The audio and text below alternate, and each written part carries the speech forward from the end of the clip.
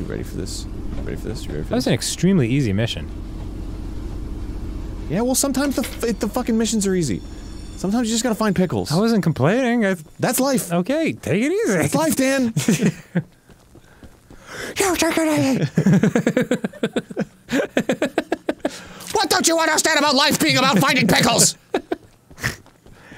Oh man, I like you. Thanks. I like you too. Don't take it out of context. We've had a real breakthrough today. It's just for the show. Oh, Alright, Or are you and I real friends in real life?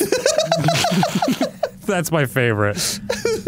No, we hate each other. That's why we spend 18 fucking hours a day together every day. In this episode, I noticed that Arin was talking really rudely to Dan. Are they actually friends in real life? Maybe they're just doing it for the paycheck now. yeah, wow, we're really faking it. All right, sorry, we're fine.